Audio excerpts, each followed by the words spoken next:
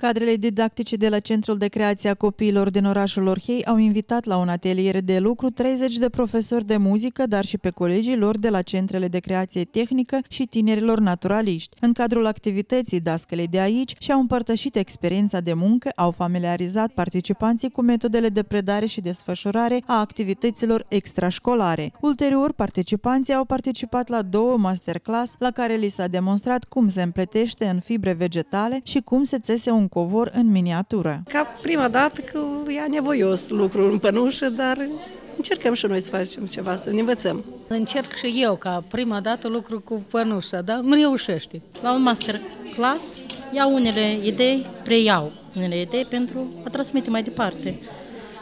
Poate ceva îmi reușește.